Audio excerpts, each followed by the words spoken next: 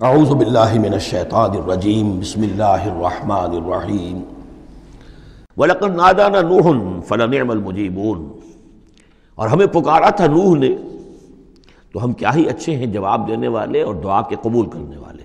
रब इन्नी मगलूबन फतसिर, हज़रत सलाम ने जब फरियाद की, परवरदिगार, मैं तो अब, मुझे तो इन्होंने दबा लिया है, मैं मगलूब हो गया हूँ। तो अब तू ही बदला ले और तू ही मदद फरमा। तो अल्लाह की मदद आ गई, वह नजैना हो मिनल करब अजीम। और हमने उसे और उसके घर वालों को करब अजीम से निजात दे दी अब करब अजीम को आप खुद सोचिए कि एक तो करब अजीम उनकी मुसलसल साढ़े नौ सौ बरस से एक शख्स दावत दे रहा हो, और लोग इस्तेजा कर रहे हैं तमस्फुर कर रहे हैं। यूँ समझिए कि मक्के में तो यूँ कहा जा सकता है कि अभी दस बारह बरस ही हुए हैं मुसलमानों, तुम्हें ये झेलते हुए, हमारे उस बंदे ने साढ़े नौ सौ बरस तक सबर किया था। तो उसका उसका अंदाज़ा करें किस कदर कर्ब में, किस कदर जीक में उसकी जान आई होगी। जैसे कि हम देखते आ रहे हैं कि हुजूर की जान जिस तरह जीक में आ गई थी कि उनके ऊपर गोया के लोग इज़्ज़त कर रहे हैं, दिखाइए कोई मौजदा। आप रसूल होने का दावा करते हैं।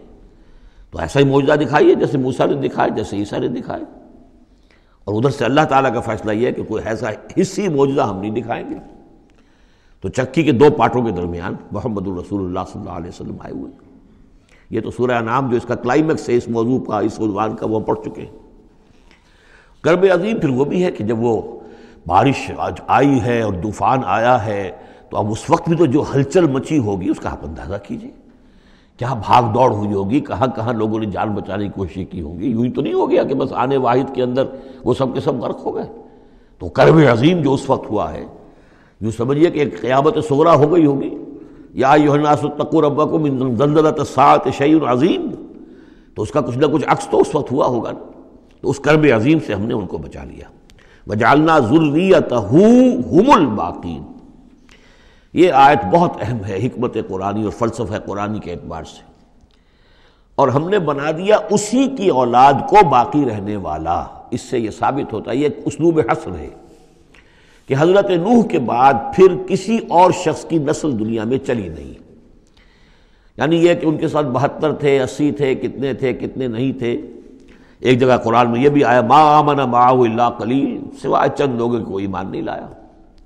और गुमान यही है कि या तो हज़रत नू सलाम और उनके तीन बेटे और उनके अहल खाना। और मुमकिन है कि एक बीवी तो पीछे रह गई, गर्क होने वाली थी, लेकिन कोई और बीवी उनकी हो कि उनके साथ हो। और बाकी ये कि मुमकिन है उनके जो कुछ मुलाजिम होंगे, खादिम होंगे, बस और मेरा ये ख्याल है कि उन पर कोई ईमान नहीं लाया। फिर ज़ाहिर बात है वो खादिम वगैरह जो होते हैं, फिर उनके साथ तो इतना अहतमाम नहीं होता कि उनकी औलादें भी आगे चल सकें। लिहाजा जो औलाद चली है, वो सिर्फ़ हज़रत नू सलाम के तीन बेटों से। गोया कि नस्ल इंसानी जो है, अब दुनिया में जितने इंसान हैं, वो हज़रत नू सलाम के तीन बेटों की नस्ल से हैं, साम, हाम और याफिस। और ये कि इसीलिए उनको आदम सानी कहा जाता है। आदम अव्वल तो हज़रत आदम थे, उन्हीं से नस्ल चली इंसानी। लेकिन अभी जो है, जो मेरा अंदाज़ा तकरीबन दो हज़ार बरस का है। इस दो हज़ार बरस के अरसे में उसी इलाके में आबादी अभी हुई है। अभी आबादी और उधर उधर फैली नहीं थी। और वहीं वो अजीम जो है, सैलाब आ गया। सब के सब गर्क हो गए। चंद लोग जो बचे उनके साथ। महसूस होता है कि उनकी भी आगे नस्ल नहीं चली, सिर्फ़ हज़रत नूसम के तीन बेटों से। व जालना जुर्रियत हुमुल बाकीन ये जो है असर का, हसर का बड़ा ज़ोरदार जो है, ये उसलूब है। व तरकना अलहफ़िल आखरीन आखरीन, और हमने उसी तरीके पर फिर पिछलों को छोड़ दिया। पिछलों में से कुछ लोग उसी के रास्ते पर चले, हज़रत नूसम के रास्ते में। ज़ाहिर बात है कि उनके तीनों बेटों की औलाद कुछ अरसे तक तो यकीन बिल्कुल दीन हक पर और दीन तोहहीद ही पर चली होगी। फिर जैसे वक्त गुजरा, फिर शैतान ने वर्गलाया और और यह कि मुख्तलिफ़ किस्म के तवाहमात में और मुख्तलिफ़ किस्म के जो शिरक हैं उनके अंदर मुबतला कर दिया। सलाम अला नूह फ़िलआलमीन सलाम हो नूह पर तमाम जहानों में। इन्ना कज़ाल का मोहसरीन इसी तरह हम बदला देते हैं अपने मोहसिन बंदों को। वो बंदा जो दर्जा एहसान को पहुँच गया हो। इस्लाम, ईमान और फिर सबसे ऊपर एहसान। इन नहू में नबादिन मोमिन वो हमारे मोमिन बंदों में से थे। सुम अगरक नल आखरीन और उसके बाद हमने बाकी जितने भी थे, उन सबको गर्क कर दिया। व इन नमिनशियत ही इब्राहिम, और उसी की राह पर चलने वालों में, उसी की जमात में से, उसी के हिज्ब में से इब्राहिम थे। यानी ये कि जो नस्ल चली है आगे तो हज़रत इब्राहिम भी जो उठे, उनकी हज़रत शाम की औलाद में से। हज़रत शाम की औलाद में कौम आद भी है, उसी में फिर कौम सबूत भी है। और भी अकवाम है, सेमेटिक रेसिस जितनी भी है। लेकिन ये कि शहर उर्र में जो मौजूदा जो इराक है, उसके बहुत जनूबी इलाके के अंदर ये शहर था, जिसके अब खंडरात बरामद हुए हैं। वहाँ हज़रत नू हज़रत इब्राहिम की पैदाइश हुई। और वो हज़रत इब्राहिम, हज़रत नू ही के तरीके पर तोहहीद पर चल रहे हैं। इस जा रबहू में कलबिन सलीम, जबकि वो अपने रब की तरफ़ मुतवजह हुआ कल्ब सलीम के साथ। अब यहाँ वो हमत समझ लीजिए कि मैंने जो बारह अर्ज़ किया है कि एक फितरत सलीमा और एक अकल सलीम, ये दो चीज़ें हैं। और फितरत का ताल्लुक चूँकि रूह से है और रूह का मस्कन कल्ब है। तो आप उसे फितरत सलीमा कहें या उसे कल्ब सलीम कहें, वो एक ही बात है। कल्ब सलीम अपनी असल हकीकत पर, असल है असल जो हैत उसकी है, उस पर बाकी हो परवर्टेड ना हुई हो उसकी फितरत। उस पर पर्दे ना पड़ गए हों, उसके खदो खाल जो है, वो अपनी असल सलामती के साथ बाकी हों।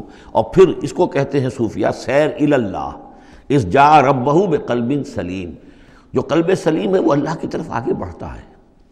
और अकल सलीम की रोशनी में वो फिर पहुँचता है तोहहीद तक और तोहहीद के बाद माद तक। जैसा कि मैंने कई मरतबा किया कि सूर्य फातिहा दर हकीकत इसी मकाम पर खड़ी है कि एक इंसान के जो कल्ब सलीम और अकल सलीम की रहनुमाई में तोहहीद और माद तक पहुँच गया है। और अब वो ये भी जान गया है कि असल तरीका ज़िंदगी गुजारने का यही है कि अल्लाह की बंदगी की जाए, उस एक खुदा की बंदगी की जाए। अब वो सवाल करता मैं बंदगी कैसे करूँ? जैसे मैंने आपको बताया, मक्के में ऐसे लोग मौजूद थे। हज़रत सईद इबन जैद जो हैं कि जो बहनोई थे, हज़रत उमर अब्दुलख़त्ताब के रज़ी अल्लाह तु के जो वालिद थे, जैद, वो मुवाहिद थे। और काबे के पर्दे पकड़ पकड़ कर दुआ किया करते थे कि अल्लाह, मैं सिर्फ़ तुझे पूजना चाहता हूँ, तेरी बंदगी करना चाहता हूँ, लेकिन नहीं जानता कैसे करूँ। ज़ाहिर बात है, इसलिए एह दिन मुस्तकीम। ये है असल में सूरह, वो सूरह फातिहा का जो नज्म है, कि वहाँ तक तो पहुँच गए। आलमीन अर्रहमान रहीम मालिक यौमिद्दीन, इयाक नाबुद। यहाँ तक तो इंसान पहुँच गया। लेकिन अब बंदगी कैसे करें? इयाक नस्तीन दिन मुस्तकीम। इस बंदगी के लिए तेरी मदद चाहिए। तौफीक भी तेरी हो और हिदायत भी तेरी जानब से हो। दो चीज़ें हमें मिलेंगी तो हम तेरी बंदगी का हक अदा कर सकेंगे। इस जा रब बहू बिन सलीम। सदक अल्लाह